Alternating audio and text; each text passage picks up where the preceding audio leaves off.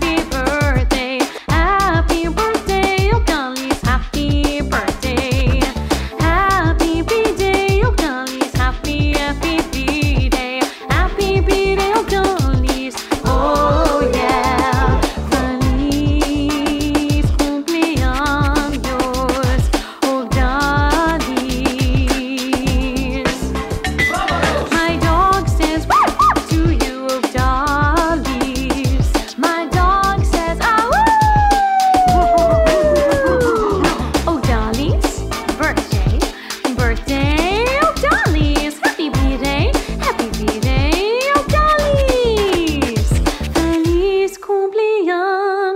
Doors Octalis.